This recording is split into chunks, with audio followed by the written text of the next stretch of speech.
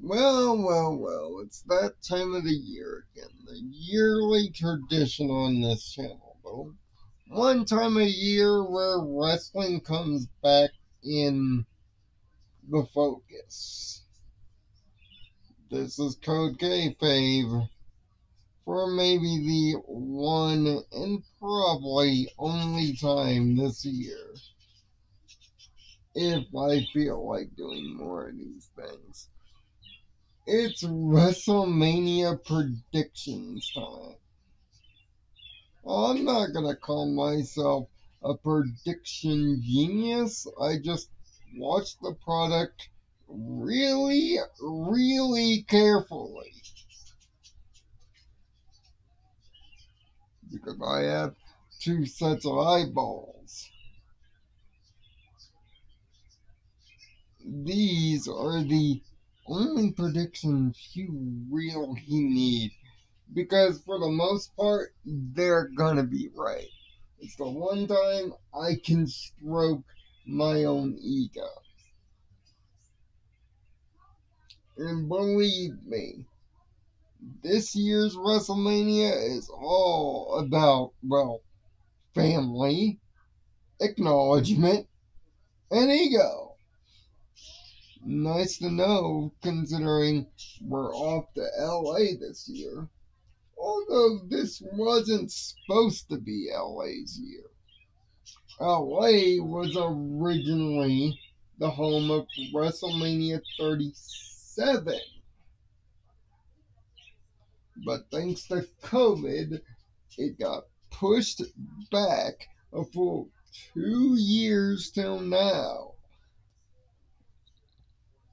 But the card is stacking up to be one of the greatest cards that Mania has had lately.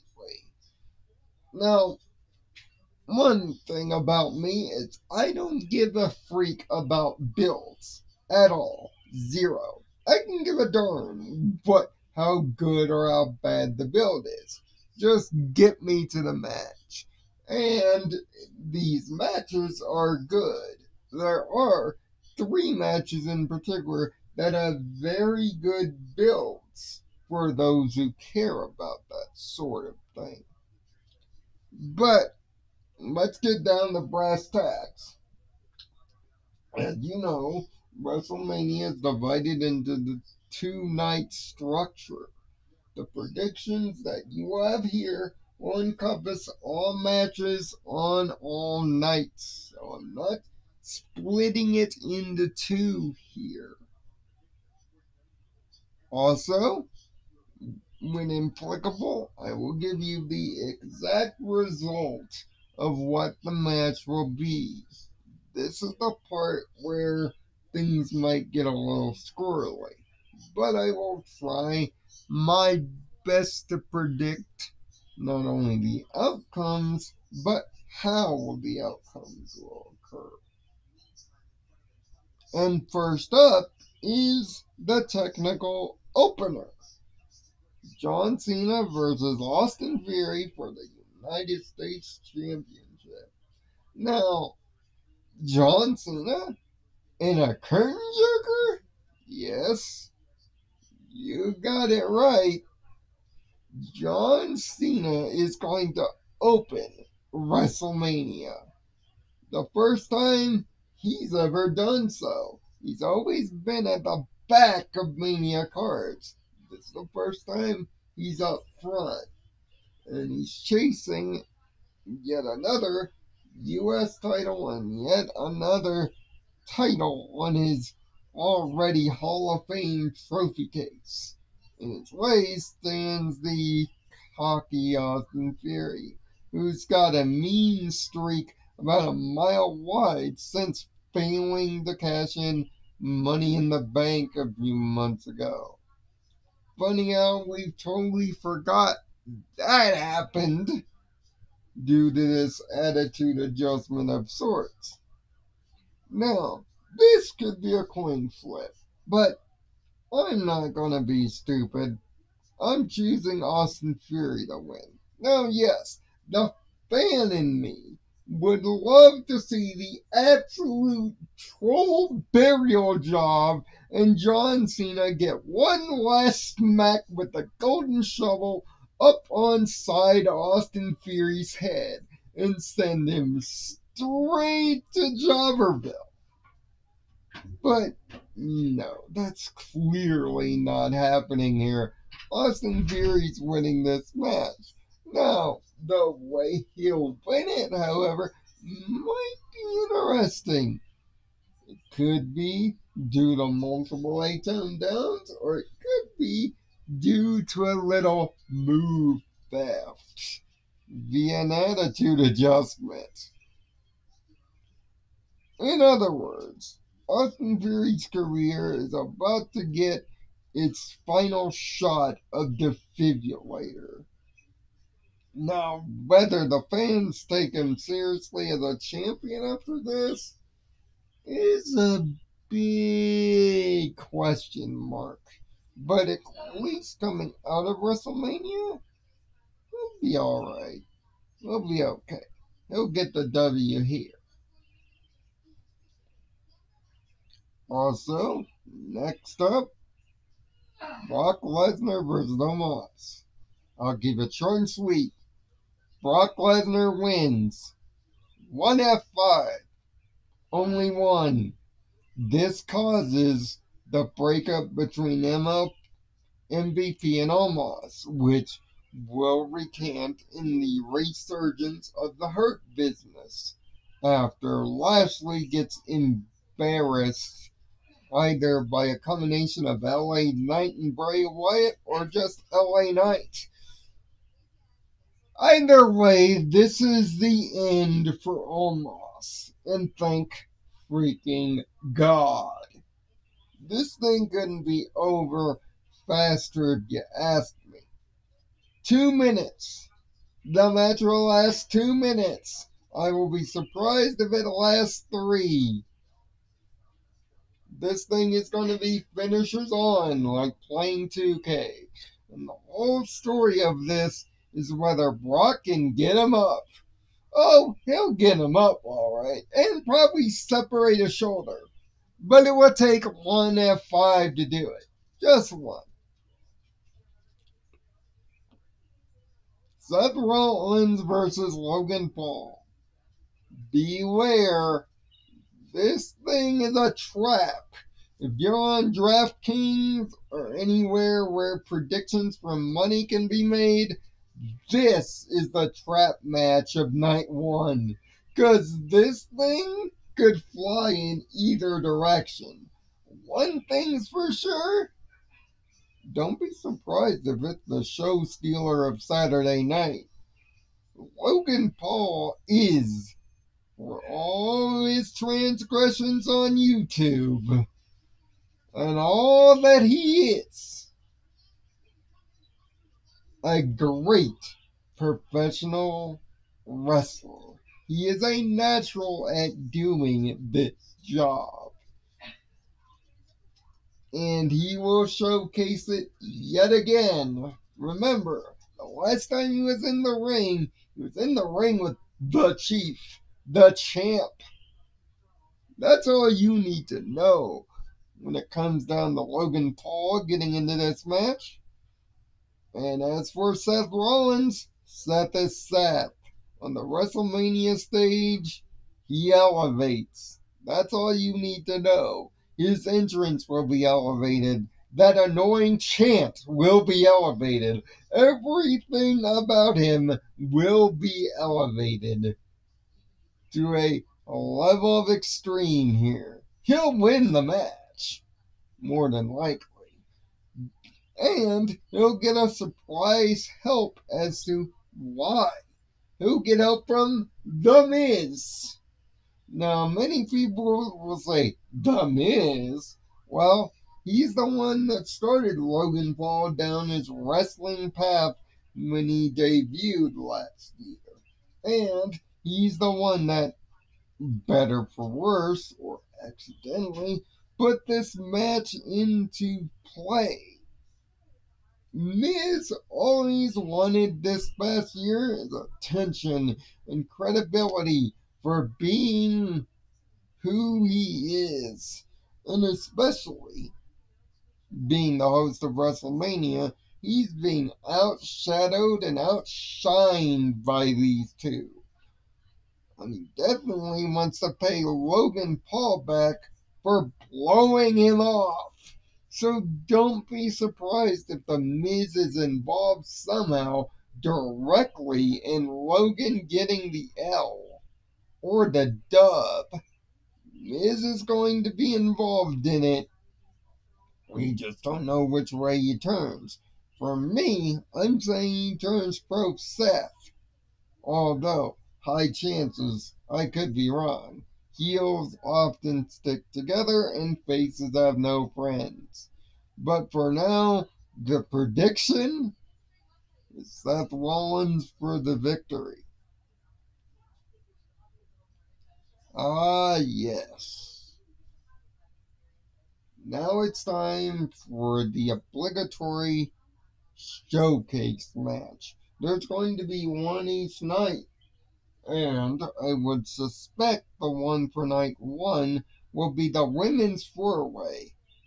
Shayna and Ronda will win it. That's all you need to know. Shayna will be doing all the heavy lifting because they want to put her in a position of power again, and because Ronda has a bum bum shoulder right now. So don't expect her to do a lot of lifting in this match. This just shows how pathetic the women's division as a whole, both brands included, is. The fact that we just have to throw women together, it's a giant waste of time. Even talking about it in this video is a giant waste of time. There's even no stakes in it. That's why I put it here right now. Because the other two women's matches have a lot more stakes. As for the men's side of a tag team fatal four way, expect the Street Profits to win, but also expect this to be the end of Alpha Academy. Yes, I know. Boo. Chad Gable gets left at the altar yet again. He just can't get a stable tag team partner. But thanks to the Maxim male models, looking at Otis for their plus sized modeling, that's going to lead to the breakup of this team. Hopefully, this will lead to Chad Gable finally getting a mid card singles push. My God, can we please? Chad Gable is one of the most athletic wrestlers there is today. Period. Full stop. He should be successful here, even in defeat. His career goes up, and so does the Street Profits. Because they get the W, and they're probably the first team, if not the second, to challenge the hint of spoiler new undisputed tag team champions when that happens.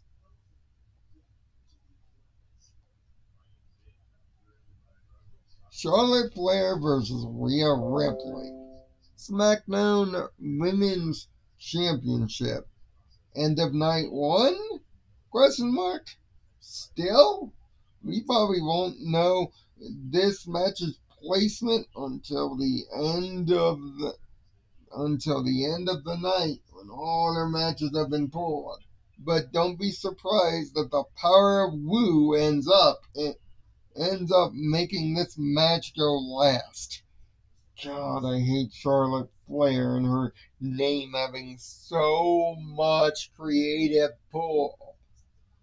But sadly, getting the match on last is probably the last thing that the pull will give her. Because she's taking this L to Rhea Ripley. Rhea Ripley and the leader of the Third Street Saints Dominik Mysterio are the greatest thing about the Third Street Saints, aka Judgment Day. and one of them is about to win a title. The other one is probably going to get smacked around a bit. But we're about to get to that. This match will be a banger, especially if Charlotte decides to actually do business and put Rhea over and make her look good instead of instead of being upset to lose another main event. But then again, she's three titles off of breaking her father's hollowed record, which shouldn't even count given the length length of her reigns. But stats are stats, and they're gonna break it. So in order to do that, she's gotta take the L here. Yes, it's sad. It's vain.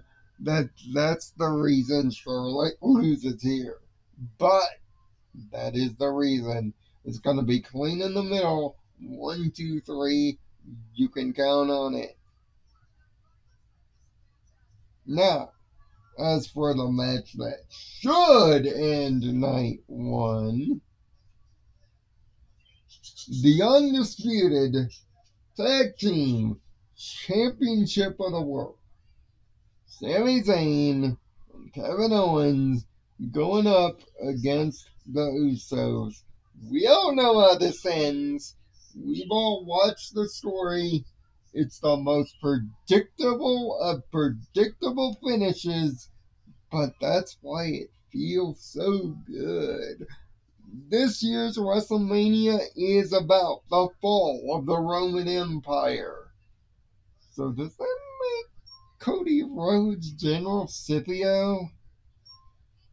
Well, in that vein, the first cracks of the Roman Empire begin right here with Kevin Owens and Sami Zayn winning the tag team titles and thus the Usos kicked out of the bloodline and probably splitting from each other. Yeah, I could see the Usos accidentally super kicking each other, and this is what causes a split finally between Jimmy and Jay put a pin in Jay's attitude coming out of this match because it will probably matter later. But at the end of the day, the Usos' long reign, the reign that beat the New Day, finally ends. And the tag team team division can finally have something to fight for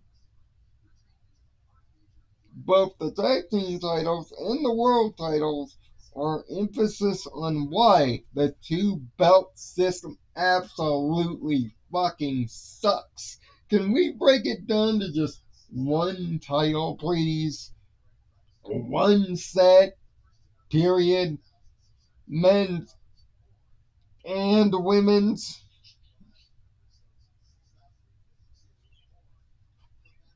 Night two's opener is a little bit tricky to figure out. We all know night two's closer, but I'm going to take a guess that night two's opener will be Bianca Belair and Asuka starting out the curtain jerk for the Raw Women's Championship, the true Women's Championship. Why? Because Bianca Belair has been on a Roman style reign but because the women's division sucks 20 tons of sack, nobody cares. Unless Asuka is involved, of course. The Japanese murderous assassin is back. And she's been channeling her Joker vibes. And this Joker vibe is going to put her back at the top of the list. Expect this match like all Bianca Championship matches at Mania, to be an absolute banger. Expected to go back and forth, expected to be 10 to 12 minutes long, and I expect Asuka to win. Even using Hall of Famer Great Muta's niece to get the job done and cause Bianca Belair to tap for the first time in her life as Asuka wins the true women's championship. And don't expect her to lose it for quite a bit of time. This is going to be a long reign, ladies and gents. You can count on that. As for the six man tag, just understand Trish and Lita are in the match. Trish and Lita will win. Damage Control loses about as much as a Power Rangers villain. They're going to lose here. Next, we have the Intercontinental Championship, which honestly, because I am a man of tradition, this should go on right before the world title matches. You heard me. Intercontinental Championship next to last.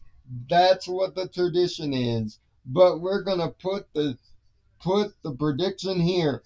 Sheamus wins, pinning Drew McIntyre. It's gonna be back and forth. It's gonna be claymores. It's gonna be bro kicks. It's gonna be chops that sound like shotguns. This thing is going to be violent with three of the most violent, non-violent people in all of WWE chopping each other senseless. Don't be surprised if Imperium gets involved, but because of the nature of triple threats, you can almost bank on it. And expect Gunther to lose so that he can win a world title at SummerSlam. Yeah, I said it. By this time, by this time in August, we'll be talking about Gunther chasing, chasing world gold. But for this, he's got to lose here. Sheamus finally gets the Intercontinental Championship he's been pawning for. But unfortunately, this is going to awaken the heel turn within Drew. Can we please get anything past I'm Scottish? Please? Hell in a Cell. Back to the white cage. Thank God. And what a perfect time to re-debut the white cage. Edge versus Finn Balor. Demon Finn Balor. That hasn't been seen since the embarrassment with the Fiend and the ropes. Remember, the last time we saw the demon, it was an hell. This time, eh, this could be the one true coin flip.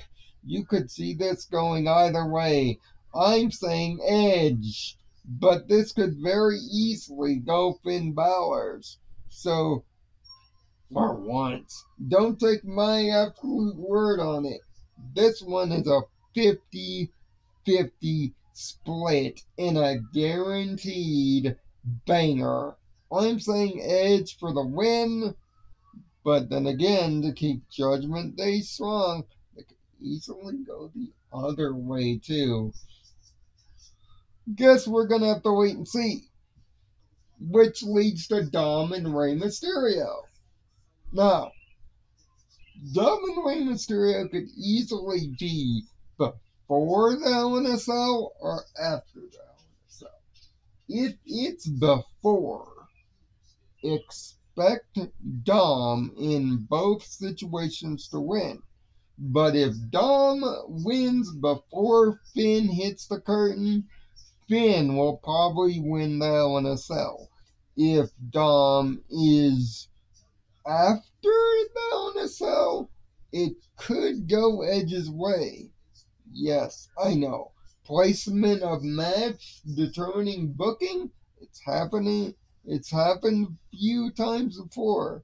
But expect this the most emotional match in the Mania card to be every bit of emotional as you expect it to be. Rey's going into the Hall of Fame. He's probably going to get one heck of an entrance and one heck of a costume. This is going this is going to be the most emotional of matches outside of a main event itself. Expect Michael Cole to blow an aneurysm as to how much he hates Dominik Mysterio. I mean, he hates this kid more than he hated Jerry Lawler when he was in the box. That's how much this dude be hating. But it's good to see Michael Cole play a face for once.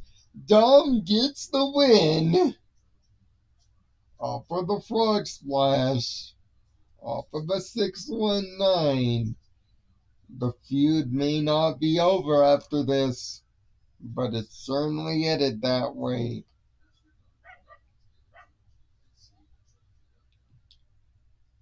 As as far as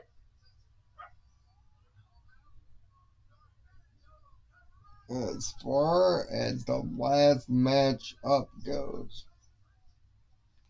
Cody Rhodes versus Roman Reigns. The end. 945. What is the relevance of that number? 945 is the number of days that Roman Reigns has been the true king of the wrestling world.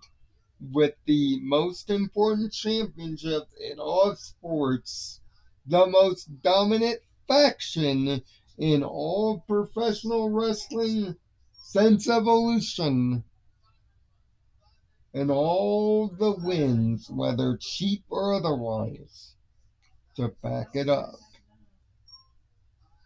This is a match about family. Is a match about legacy. Is a match about acknowledgement.